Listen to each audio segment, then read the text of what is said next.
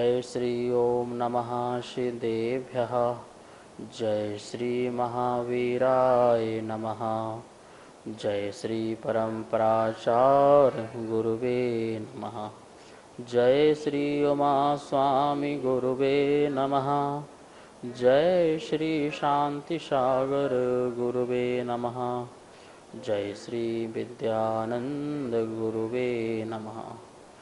मोक्षमार्गस्य नेतारं, भेत्तारं कर्मभूभृतां ज्ञातारं विश्वतत्त्वानां, वंदे तद्गुणलब्धये। मङ्गलं भगवान् वीरो, मङ्गलं गौतमो गणि, मङ्गलं कुन्दकुन्दार्यो जैनधर्मोऽस्तु मङ्गलम्। तत्वार्षुत परम मांगलिक ग्रंथ है। आचार्य कुंद के पटशिष्ट आचार्य उमा स्वामी द्वारा यह विक्रम की प्रथम शताब्दी में लिखा गया है। संस्कृत इसकी भाषा है, सूत्रात्मक इसकी शैली है, दस अध्यायों विभाजित है, सात तत्वों का वर्णन है। हम सभी लोग जैन भूगोल के बारे में पढ़ रहे थे। और उसमें देखा था अपन ने अधोलोक और मध्यलोक।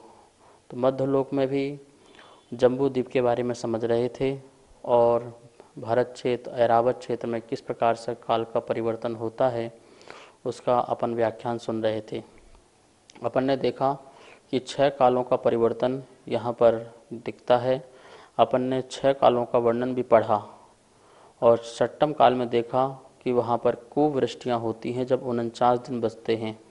छठवें काल का जब अंत होता है तो उनचास दिन जो बचते हैं, उसमें कुवृष्टियाँ होती हैं और जिसके कारण जो ज़मीन है वह भी नष्ट भ्रष्ट हो जाती है और वहाँ के रहने वाले जो जीव जंतु हैं, वह भी नष्ट हो जाते हैं।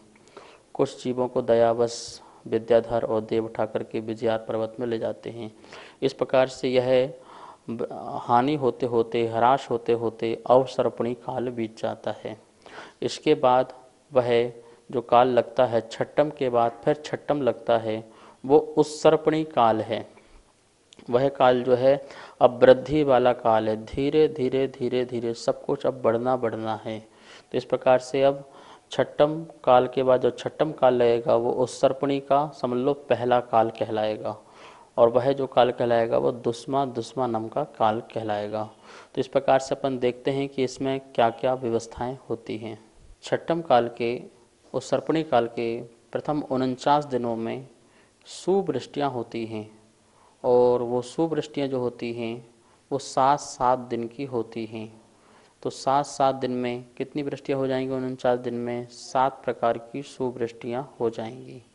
अब वो सात प्रकार की सुवृष्टियाँ कौन सी होती हैं तो हम आपको बताते हैं। यदि आपके पास कॉपी पेन है तो उसे आप नोट कर लेंगे। इसे अपन स्लाइड के माध्यम से देखते हैं, सात प्रकार की सुवृष्टियाँ। आपको यहाँ पर सुवृष्टियाँ लिखी होंगी, सात प्रकार की सुवृष्टियाँ। आप पढ़िए, देखिए क्या लिखा है। पुष्कर मेघ वृष्टि पहला, दूसरा क्षीर वृष्टि तीसरा इक्षु वृष्टि चौथा घृत वृष्टि पांचवी अमृत वृष्टि छठवीं दिव्य रस वृष्टि और सातवीं सुगंध वृष्टि इस प्रकार से ये सात प्रकार की वृष्टियाँ होती हैं, वर्षा होती है। पहली लिखी है पुष्कर मेघ वृष्टि जो मेघ जल का ऊपर से गिरना और कैसे पुष्कर पुष्कर मतलब कि इस प्रकार से जैसे कमल आराम धीरे से गिरता है, आवाज़ नहीं करता है, इसी प्रकार से मेघ की वर्षा होना धीरे धीरे जो पृथ्वी के अंदर जाए। एक तो पानी बहुत तेज गिरता बह जाता है, एक पानी फुब्बारी की तरह होता है जो धीरे धीरे जाके पृथ्वी में समाविष्ट होता है। तो सात दिन तक पहले पुष्कर मेघ वृष्टि होती है, जली जो पृथ्वी है, जो पृथ्वी एक वज़न जल गई थी वो राख की तरह हो गई थी। वह जो पृथ्वी है, वो क्या हो जाए? शीतल हो जाए। लिखा है ना पर शीतल। तो सात दिन तक पानी गिरने से, मेघ वृष्टि होने से, पुष्कर नाम की, उससे पृथ्वी क्या हो जाती है? शीतल हो जाती है। क्षीर वृष्टि। फिर क्या दिया है? सात दिन तक कौन सी वृष्टि होती है? क्षीर। क्षीर समझते हैं? दूध के समान। और शीतल पृथ्वी क्या हो जाए? स्वच्छ हो जाए। कैसे हो जाए? जैसे यहाँ पे दूध गिर जाए तो पूरा सफ़ेद सफ़ेद, स्वच्छ दिखाई देता है। तो क्षीर वृष्टि है वह, जिस प्रकार से दूध की तरह तो ऐसे ही पूरी पृथ्वी जो है बिल्कुल दुग्धमय जैसे दिखाई देना, वो क्षीर वृष्टि, बिल्कुल धवल, स्वच्छ हो जाना, वह भूमि कैसे होना, बिल्कुल स्वच्छ हो जाना तो वह क्षीर वृष्टि कहलाएगी। वो कितने दिन चलेगी? वो भी सात दिन तक चलेगी।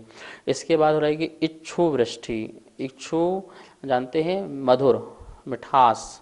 तो सात दिन तक मधुर वृष्टि होनी है, जिससे वो जो पृथ्वी भी है, वो स्वादिष्ट जैसी हो जाए, स्वादवान हो जाए, स्वादिष्ट हो जाए, मधुर हो जाए मिष्ट युक्त हो जाए।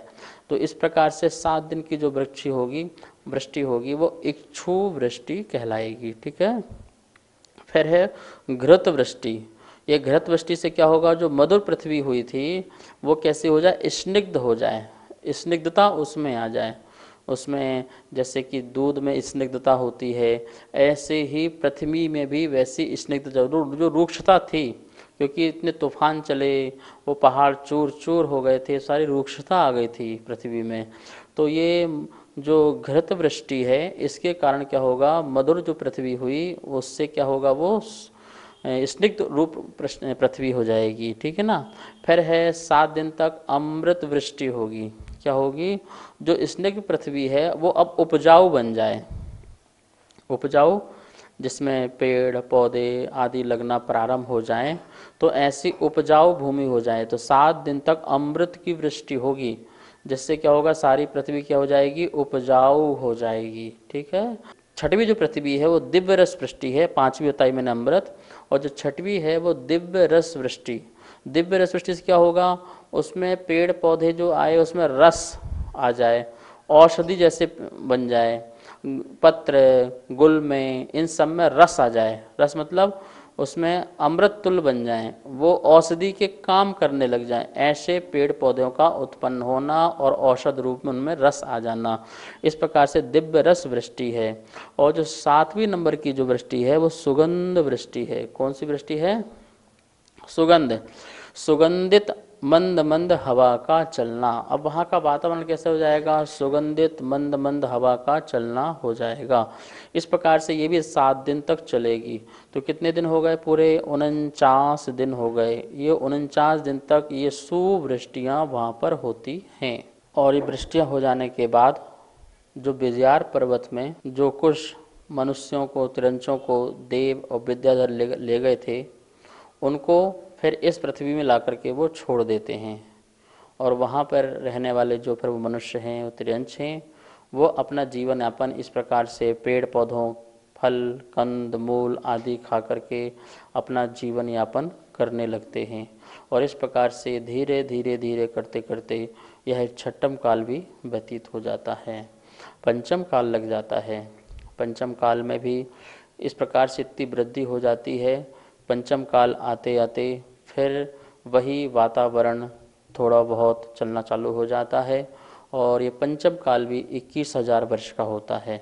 जो छठम काल भी था, वो भी इक्कीस हज़ार वर्ष का और ये पंचम काल भी कैसा है, फिर वो इक्कीस हज़ार वर्ष का प्रारंभ होता है। अब जो ये उल्टा चक्र चलना है, ठीक है ना? अब वृद्धि वृद्धि वाला क्रम है तो यहाँ से वृद्धि हो रही है अब पंचम काल जो प्रारंभ होगा, वहाँ पर जो आयु होगी, वहाँ जो अवगहना होगी शरीर की, वो कम होगी और फिर बढ़ते बढ़ते बढ़ते बढ़ते पंचम काल के अंत तक वहीं ज़्यादा हो जाएगी। फिर चौथा काल लग जाएगा तो चौथा काल में क्या बोलते कि पहले कम होगी और फिर बढ़ते बढ़ते बढ़ते बढ़ते, फिर पूरी 500 धनुष तक वहाँ पर आयु अवगाहना पहुँच जाएगी, एक पुरकोटि की आयु तक वहाँ पहुँच जाएँगे। तो इस प्रकार से ये सब क्रम बढ़ते बढ़ते होगा। अब सब कुछ बढ़ रहा है, आयु बढ़ रही है, अवगाहना बढ़ रही है, अनुभव बढ़ रहा है। तो इस प्रकार से बुद्धि, बल, शक्ति सब कुछ क्या है धीरे धीरे अब बढ़ता जा रहा है। यह क्रम चलते चलते इस प्रकार से अवसर्पणी काल का भी पूरा काल इस तरह बीत जाएगा। वही चौथा काल जो आएगा बीच में तो उसमें फिर वही तीर्थंकरों का जन्म एक एक एक करके होना प्रारंभ हो जाएँगे और वही धर्म प्रभावना आदि होना स्टार्ट हो जाएगी। पंचम काल में भी जो उस सरपणी में, उस समय भी धर्म प्रभावना आदि होगी और उस समय भी मुनियों का सद्भाव होना प्रारंभ हो जाएगा और तीर्थ आदि और मंदिर आदि का निर्माण, ये सब कुछ जैसे यथावत अभी पंचम काल में यहाँ चल रहा है, वैसा वहाँ भी संभव हो जाएगा ऐसा कार्य। इस प्रकार से अपन ने देखा, भरत और एरावत क्षेत्र में क्या होता है? यह वृद्धि और ह्रास होते हैं, एक काल, छह कालों की, ठीक है ना? जैसे अपन ने उत्सर्पणी और अवसर्पणी नाम दिया। महाराज जी, आपने बताया भरत क्षेत्र और एरावत क्षेत्र में काल का परिवर्तन होता है। क्या पूर्ण ही ऐरावत क्षेत्र भरत क्षेत्र में काल का परिवर्तन होता है? भरत क्षेत्र के और एरावत क्षेत्र के जो आर खंड है, उसमें ही काल का परिवर्तन छः कालों का होता है। बाकी जो भरत क्षेत्र और एरावत क्षेत्र में पाँच मलेक्ष खंड हैं और विजयार पर्वत है, वहाँ पर जो काल चलता है, उसी काल रूप परिवर्तन हानि वृद्धि होती है। जैसे विजयार पर्वत में चतुर्थ काल रहता है तो चतुर्थ काल का उसमें अवसर्पणी और अवसर्पणी जैसा उसमें परिवर्तन होता है। जैसे प्रारंभ काल से घट करके हानि हुई और फिर वहीं पर वृद्धि हुई। तो इस प्रकार से हानि वृद्धि होती है, पर चौथे काल संबंधी ही हानि वृद्धि वहाँ पर होती है। जैसे अवसर्पणी का चौथा काल और उस सर्पणी का चौथे काल में चढ़ते समय, उसमें घटते समय पर रहेगा, चौथा काल ही रहेगा। ऐसे ही मलेक्ष खंड में भी जो वहाँ पर काल होता है, उस काल के अनुरूप वहाँ पर हानि वृद्धि लगाना। पर काल वहाँ पर, जैसे एक पहला काल, दूसरा काल, तीसरा काल ऐसा होता है, ऐसा वहाँ पर नहीं होता है। वैसे मलेक्ष खंड को भी जगन्य भोग वत वहाँ पर बताया गया है, पर वहाँ भी कर्म भूमि जैसा ही कार्य होता है। वहाँ पे जो परिवर्तन है, वो वैसे ही लगाना है उसी रूप। जैसे आरखंड और एरावत क्षेत्र के आरखंड और भरत क्षेत्र के एरावखंड में होता, वैसा नहीं। इस प्रकार अपन ने भरत क्षेत्र और एरावत क्षेत्र में कहाँ कैसा काल का परिवर्तन होता है, वो अपन ने देखा। अब अपन ये भी देख लेते हैं कि आगे के और भी क्षेत्र हैं। हेम्बर क्षेत्र है, हरि क्षेत्र है विदेश क्षेत्र है, रम्यक है, हरणवत है। इन क्षेत्रों में कैसे क्या काल का परिवर्तन होता है या नहीं होता है, ऐसी अपनी सहज जिज्ञासा मन में प्रकट होती है। उसी जिज्ञासा का समाधान करने के लिए आचार्य भगवान अट्ठाईसवा नंबर का सूत्र का अवतरण करते हैं, जिसमें अपन देखेंगे कि उसमें आगे की भूमियों में किस प्रकार से काल का परिवर्तन होता है या नहीं होता है, उसके लिए सूत्र का हम सब लोग उच्चारण करेंगे। एक बार सूत्र हम बोलेंगे, दोबारा सभी आप लोग। ताभ्यामपरा भूमयो वस्थित। वस्थित। ताभ्यामपरा भूमयो वस्थित। इस प्रकार से अपन ने यहाँ सूत्र का उच्चारण किया। अब अपन सभी लोग इस सूत्र का अर्थ बोर्ड के माध्यम से भी देखते हैं। तृतीय अध्याय का सूत्र नंबर अट्ठाईसवा। ताभ्या मपरा भूमयो वस्थित। बहुवचन है, वस्थित। ताभ्या मपरा भूमियो वस्थित। इसकी संधि तोड़ेंगे क्यों? ताभ्याम, क्या निकलेगा? ताभ्याम, फिर निकलेगा अपरा भूमय विसर्ग का ओ का विसर्ग हो जाएगा। भूमय अवस्थित अवस्थित। इस प्रकार से ताभ्याम अपरा अपरा मतलब दूसरे मतलब दूसरे जो क्षेत्र हैं। ताभ्याम यह है द्विवचन। कैसा है वो? द्विवचन। उनसे के सेवा, उनसे दूसरे उनसे दूसरे कौन से? भरत क्षेत्र और क्षेत्र जो दो थे वो तो इसलिए यहाँ पे द्विवचन दिया है। तो उनसे अपरहा दूसरे, उनसे दूसरे उनसे दूसरे कौन से रह गए बताइए? जो अपने हेम्बत क्षेत्र है, हरि है विदे है, रम्यक है, हरण्यवत है, ये क्षेत्र रह गए। सात क्षेत्र थे ना तो उसमें से पाँच क्षेत्र अभी रह गए। तो बोल रहे उनसे दूसरे मतलब उनके सिवा भूमिया जितनी भी भूमिया भूमि हैं, ये बहुवचन में है। क्या है? बहुवचन में, प्रथमा के बहुवचन में भूमिया भूमि है। भूमि शब्द से भूमिया बना। भूमि है, वो कैसी है? अवस्थित। ये भी बहुवचन में है, ठीक है? अवस्थित कैसी है? अवस्थित हैं। इसका मतलब हो गया, भारत और एरावत क्षेत्र की जो भूमि है, वो अवस्थित नहीं है, अनावस्थित है। वो भूमि चेंज होती है। कम ज़्यादा होती है, ऐसा नहीं। उसी में ही चेंजिंगता आती है। जैसे भरत एरावत क्षेत्र के अपन ने देखा, वहाँ पर छठम कल आया तो पूरी भूमि जल के राख हो गई, एक वज़न तक जल के नष्ट हो गई। तो इस प्रकार से भूमि में परिवर्तन आया ना तो वहाँ के लोगों में परिवर्तन आया। और फिर विजयार पर्वत जो भरत क्षेत्र में है एरावत क्षेत्र में भी है, पाँच मलेच्छ खंड भी हैं, भरत में भी और एरावत में भी, उनमें उन्हीं कालवत हानि वृद्धि होती रहती है। लेकिन आरखंड में क्या होता है? छह कालों की हानि वृद्धि होती है। लेकिन ताभ्याम अपरहा, उनसे दूसरे, उनके सिवा, किनके सिवा?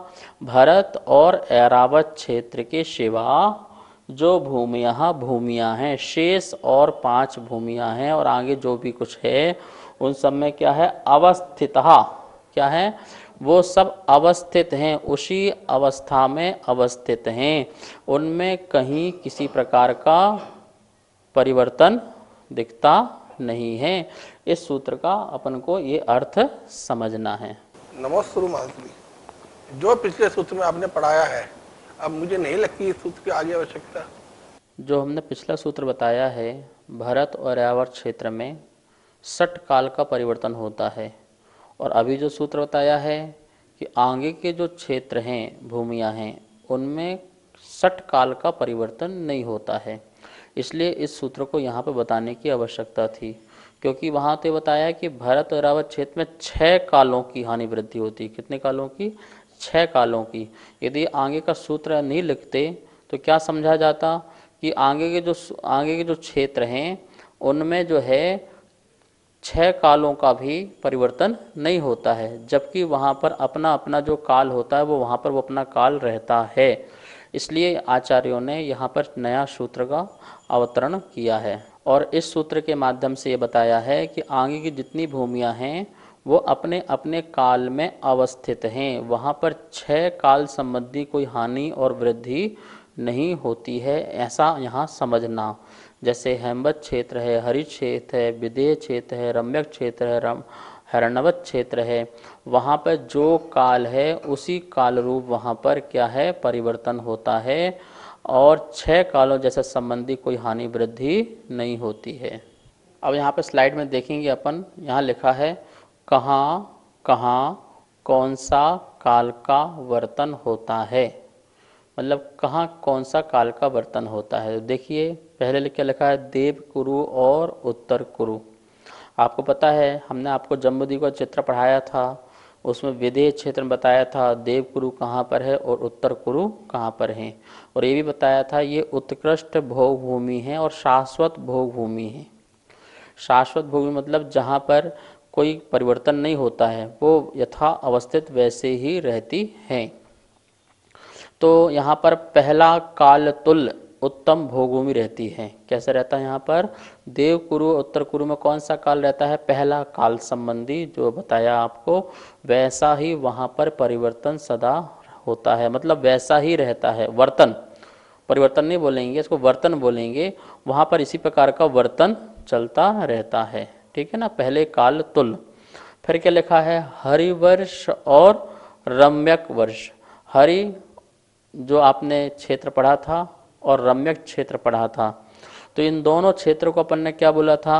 मध्यम भोग भूमि क्या पढ़ा था अपन ने? मध्यम भोग भूमि मतलब दूसरा काल संबंधी वर्तन यहाँ पर होता है।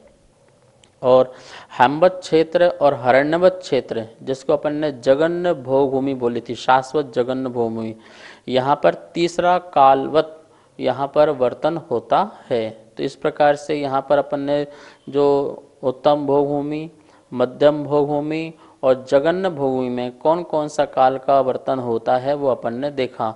ऐसा नहीं होगा कि उत्तम भूमि जो थी वो मध्य में चेंज हो जाए, फिर मध्यम पे प्रथम में चेंज हो जाए, ऐसा नहीं है।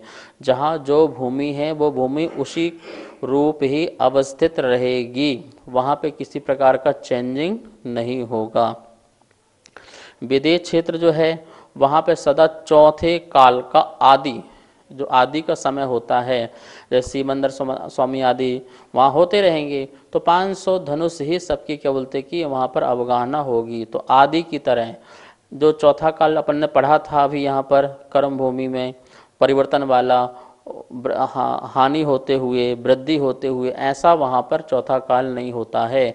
जैसा चौथा काल अपन ने आदिनाथ के काल में पढ़ा, आदि वाला, वैसा ही चौथा काल सदा ही वहाँ पर विदेश क्षेत्र में उसी रूप ही बना रहता है।